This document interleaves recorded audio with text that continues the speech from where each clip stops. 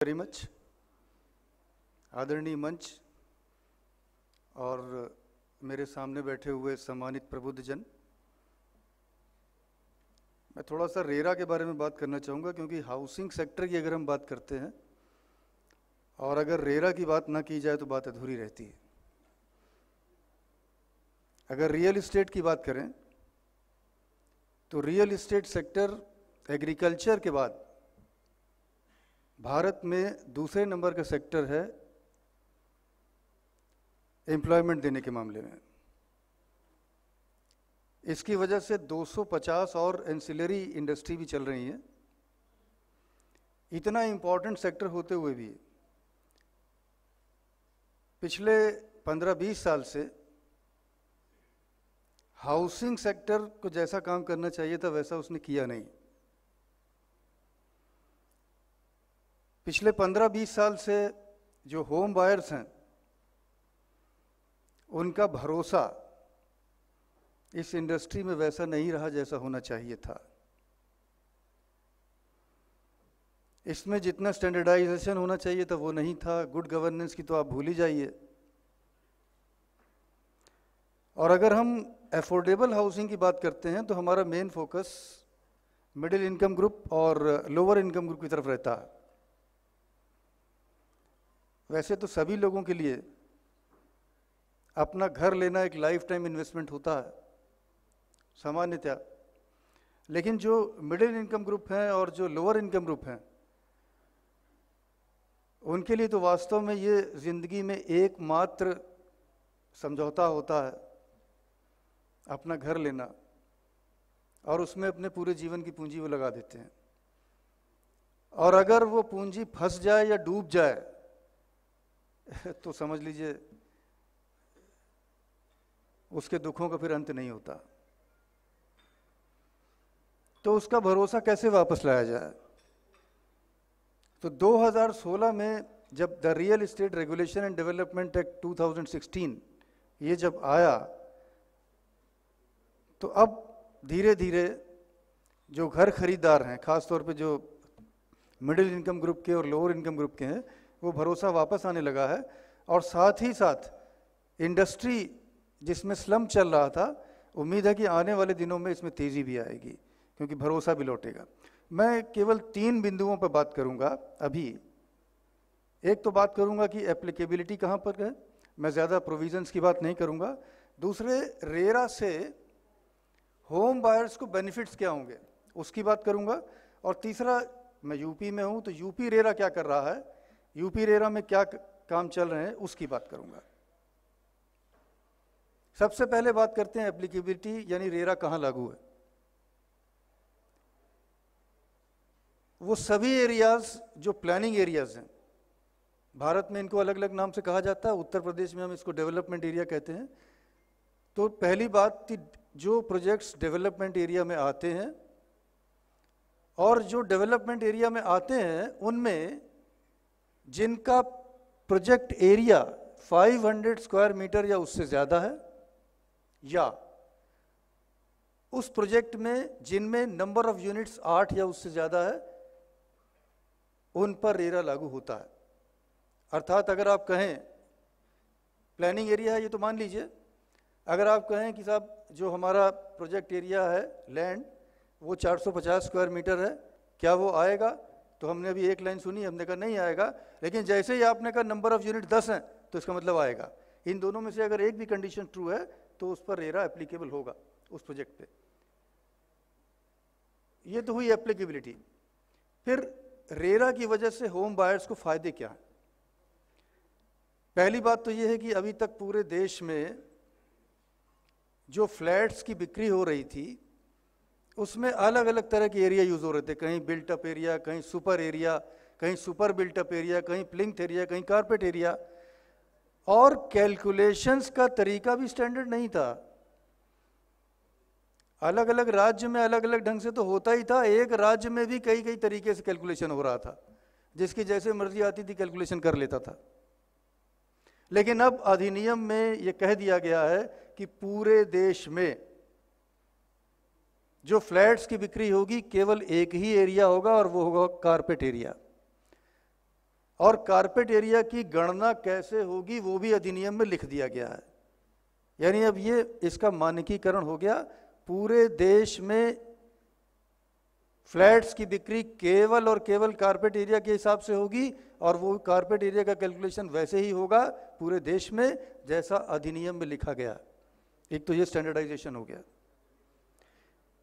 एक और बात अक्सर जो होम बायर्स शिकायत किया करते थे, डिफ़ॉल्ट हो जाने की स्थिति में, डिफ़ॉल्ट दोनों का हो सकता है, बिल्डर या प्रमोटर का भी डिफ़ॉल्ट हो सकता है, अगर उसने देर में घर दिया, या उसने अपना बिज़नेस बंद कर दिया, या और कोई, कई चीज़ें हो सकती हैं डिफ़ॉल्ट के मामले में, और एलओटी का भी डिफ़ॉल्ट हो सकता है, यानी एलओटी ने अगर देर से पेमेंट किया तो डिफ़ॉल्ट के मामले में, इंटरेस्ट देने के मामले में, लेवल प्लेइंग फ़ील्ड नहीं थी। एलओटी से तो लिया जाता था 18 परसेंट पीनल इंटरेस्ट अगर एलओटी का डिफ़ॉल्ट हो जाए, लेकिन बिल्डर्स ऐसा नहीं करते थे।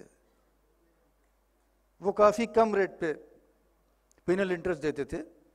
तो अब अधिनियम में ये कह दिया गया है दो बातें, कि rate of interest in case of default वो सेम होगा।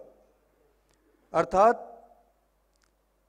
अगर एलओटी का डिफ़ॉल्ट होता है तो जिस रेट से बिल्डर पे करेगा, और अगर बिल्डर का डिफ़ॉल्ट होता है तो जिस रेट से एलओटी पे करेगा, वो रेट ऑफ़ इंटरेस्ट सेम होगी अलग अलग नहीं होगी। और क्या होगी?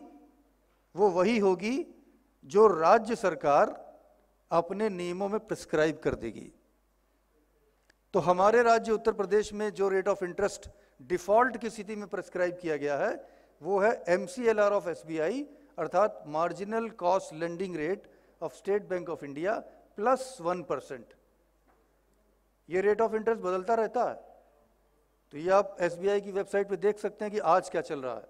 आज लगभग आठ परसेंट के आसपास है।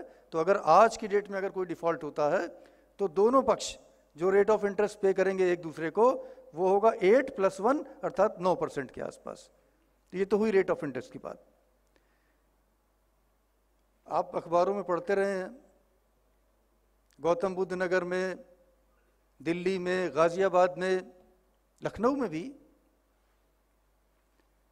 बहुत से प्रोजेक्ट्स में जो होम बायर्स हैं, बरसों हो गए और वो दर दर की ठोकर खा रहे हैं। उनके लाखों रुपए डूबे पड़े हैं। और वो इधर से उधर भाग रहे हैं। अब ऐसा नहीं होगा। क्यों हुआ ऐसा?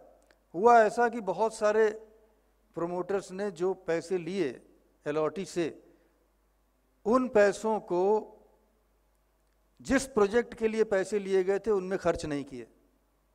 कहीं और खर्चा कर दिया।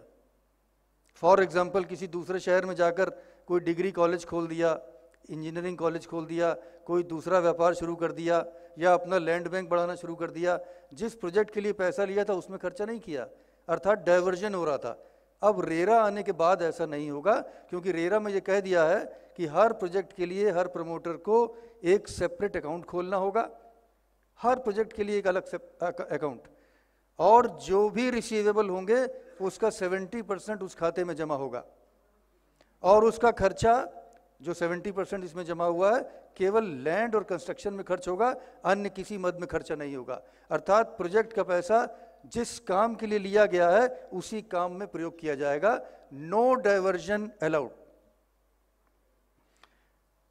अगर कोई प्रमोटर फॉल्स प्रोमिस करता है, झूठे वायदे करता है, किताब में कुछ लिखा, जो उसका ब्रोशर था, और वास्तव में वो नहीं दिया, या जो मॉडल अपार्टमेंट दिखाया, वैसा नहीं बनाया, अगर झूठे वादे किए हैं तो उस दशा में रेरा आने के बाद से एलॉटी को या होम बायर को यह अधिकार है कि वो अपना पूरा इन्वेस्टमेंट प्रेस्क्राइब इंटरेस्ट जो मैंने अभी बताया M C L R plus one percent उसके हिसाब से वापस मांग सकता है और अगर नहीं मिलता है तो रेरा में कंप्लेंट कर सकता है, यूपी रेरा उन्हें दिलाएँगे और दिला रहे हैं।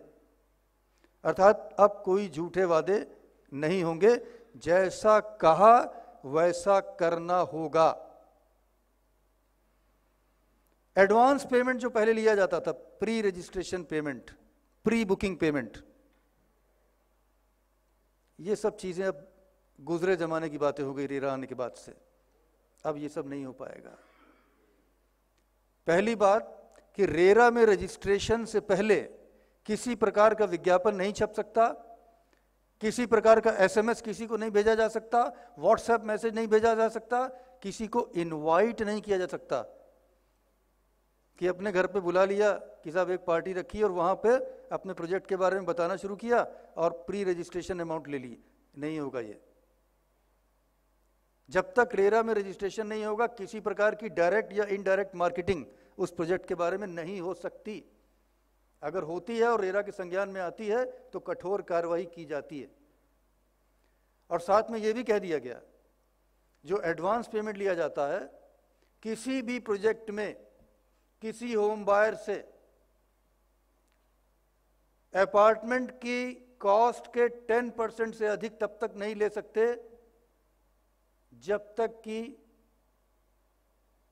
एग्रीमेंट ना हो जाए।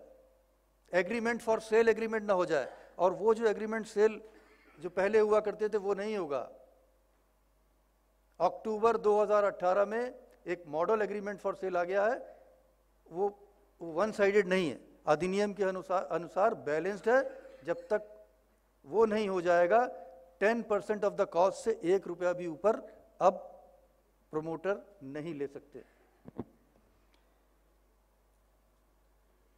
अब कुछ लोग कहते हैं कि साहब, हमने पोजीशन ले लिया, उसके तीन साल बाद बिल्डिंग में क्रैक आ गया या कोई और डिफेक्ट आ गया तो अधिनियम में यह कह दिया गया है कि कब्जा लेने के पाँच साल के अंदर, अगर किसी प्रकार का कोई स्ट्रक्चरल डिफेक्ट आता है या वर्कमैनशिप की कमी होती है, अगर पाँच साल के अंदर ऐसा होता है तो प्रमोटर की डिफेक्ट लाइबिलिटी होगी।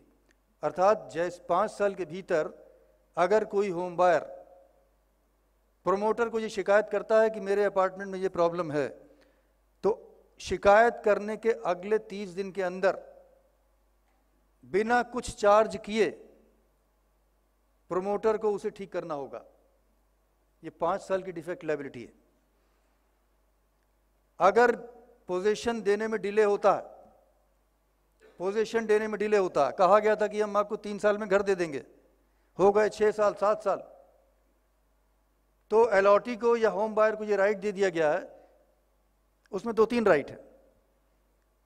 एलॉटी चाहे तो प्रोजेक्ट में अब रहे, डिले होने की स्थिति में। और अगर एलॉटी चाहे तो प्रोजेक्ट से बाहर जा सकता है। अगर वो प्रोजेक्ट से बाहर जाने का निर्णय लेता है तो total investment with prescribed interest ये लेने का उसे अधिकार है। रेरा आने से पहले ऐसा नहीं होता था। उसका काफ़ी पैसा काट लिया जाता था। और बची खुची रकम उसे लौटाई जाती थी। अब ऐसा नहीं होगा। कंप्लीट टोटल पैसा जितना इन्वेस्टमेंट किया है, विद इंटरेस्ट मिलेगा। अगर पोजीशन देने में विलंब होता है तो। इसके अलावा, बहुत जगह शिकायतें आती थी कि साहब, बहुत दिनों बाद पता लगा कि टाइटल में डिफेक्ट है। घर लिए हुए पंद्रह साल हो गए, एक रात में, आधी रात में बुलडोजर आकर घर के सामने खड़ा हो गया। आपने महाराष्ट्र वगैरह के कई केसेस सुने होंगे ऐसे। हम किसी प्रोजेक्ट का नाम नहीं लेंगे। अब ऐसा नहीं हो पाएगा। At the time of registration promoter को अपने लीगल टाइटल के बारे में बताना होगा। अपने डॉक्यूमेंट सबमिट करने होंगे। इतना ही नहीं, अगर फिर भी ऐसा हो जाता पोजीशन लेने के बाद चाहे जितना समय हो गया हो, वो लिमिटेशन से बाहर नहीं है। चाहे जितना समय बीत गया हो, अगर पता लगता है कि इसका डिफेक्ट टाइटल में डिफेक्ट था तो होम बायर कॉम्पनसेशन के लिए अप्लाई कर सकता है। कॉम्पनसेशन में भी कोई लिमिट नहीं है। कॉम्पनसेशन की भी कोई लिमिट नहीं है। प्लॉट की कॉस्ट का दुगना तिगना भी कॉम्पनसेशन मिल सकता है। कॉम्पनसेशन का प्रोविज़न है। अगर टाइटल में डिफेक्ट पाया जाता है पोजीशन लेने के कितने साल बाद भी। वो जो समय सीमा है, वो लिमिटेशन एक्ट से बार्ड नहीं है। इसके अलावा right to information right to information के लिए कोई राइट टू इन्फॉर्मेशन में एप्लीकेशन नहीं देनी पड़ेगी सूचना का अधिकार में। इसमें built in right to information है। बिल्ट इन पूरा अधिनियम ही डिस्क्लोजर्स का अधिनियम है। अब ये पूरी कोशिश की गई है रेरा एक्ट में कि यूनिफॉर्मिटी ऑफ़ इंफॉर्मेशन हो। अर्थात जितनी इंफॉर्मेशन अपने प्रोजेक्ट के बारे में प्रोमोटर या बिल्डर को है, लगभग उतनी ही इंफॉर्मेशन होम बायर को भी हो। ये पहली बार हुआ है। रेरा आने के बाद से यूनिफॉर्मिटी ऑफ़ इंफॉर्मेशन सूचना की एक रूपता प्रोजेक्ट के बारे में दोनों पक्षों को बराबर सूचना हो। इसके अलावा establishment of authority for grievance redressal सभी राज्यों में रेरा का गठन, रेरा का मतलब हुआ रियल इस्टेट रेगुलेटरी अथॉरिटी अगर किसी प्रकार की ग्रीवेंस है, जो चीज़ें मैंने आपको बताई, इसके अलावा भी है, मैंने बहुत संक्षेप में बताया, अगर इस प्रकार की कोई शिकायत आती है तो आप रेरा में अप्लाई कर सकते हैं, अपनी शिकायत दर्ज करा सकते हैं। उत्तर प्रदेश में इसका कार्यालय है काला काकर हाउस में। काला काकर हाउस में जहाँ राज्य नियोजन संस्थान का कार्यालय है, जिस बिल्डिंग में, उसी बिल्डिंग में यूपी रेरा का भी ऑफ़िस है। आपको वहाँ जाने की भी आवश्यकता नहीं है। प्रयास यही है कि हमारे किसी नागरिक को रेरा के कार्यालय में न जाना पड़े। सब कुछ ऑनलाइन है, आपकी कंप्लेंट ऑनलाइन है रिड्रेसल ऑनलाइन है, सब कुछ ऑनलाइन है।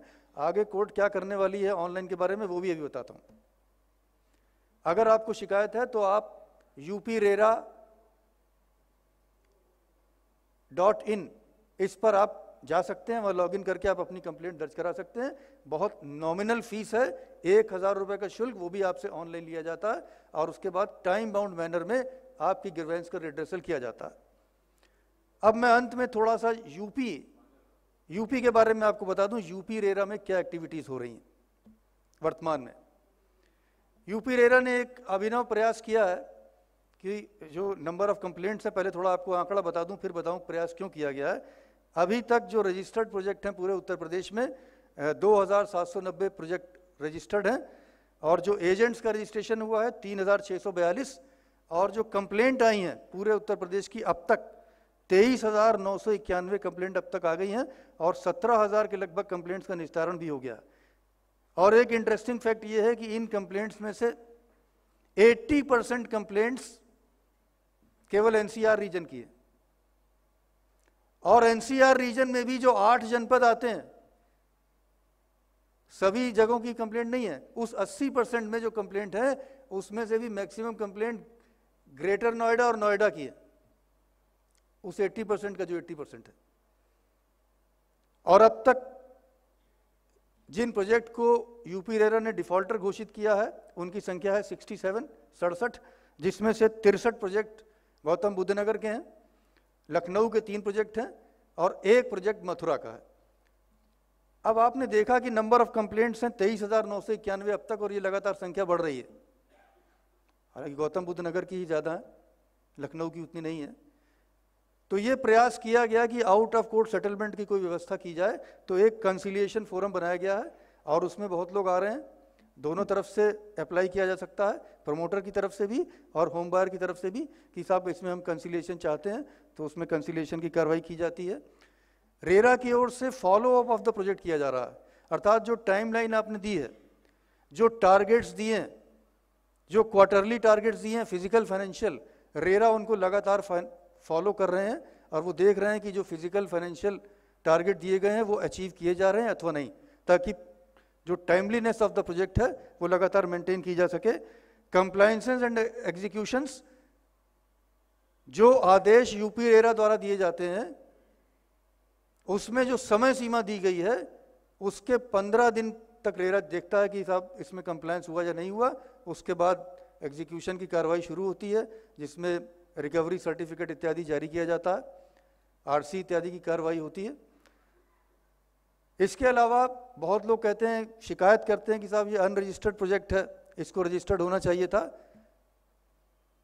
तो ये नागरिकों के लिए एक ऐप भी विकसित किया गया है और वेबसाइट पर भी है।